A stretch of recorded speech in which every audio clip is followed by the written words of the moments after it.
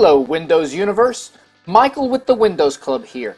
Now, the Software Reporter tool is a Google Chrome standalone process that monitors your Chrome install and reports if any add-ons are interfering with the normal functioning of the browser.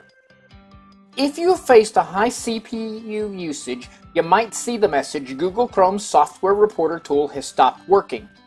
Many have opted to remove or disable the tool from their system. In this video, we will look more in depth with Google Chrome Software Reporter tool.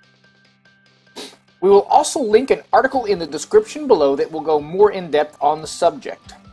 Now, before we get started, it's always safe to create a system restore point before making any changes to your computer. Go to Windows Explorer, this PC, Windows, Users, your username, app data, local,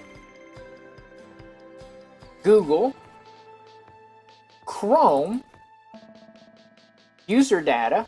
You're looking for SW Reporter. You'll see a series of numbers. Click on it.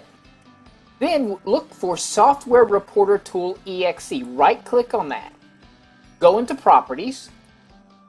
Then go to the Security tab and type and click on Advanced. In it, you'll see a box that says Disable Inheritance. You want to click on that, remove all inherited permissions, click Apply, click OK.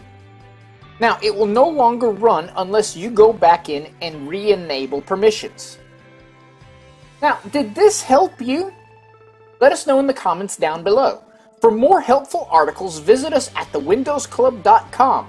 If you found this information helpful, give us a thumbs up. And while you're at it, subscribe to our channel where we are always adding new content to make your digital life just a little bit easier. Thanks and have a wonderful day.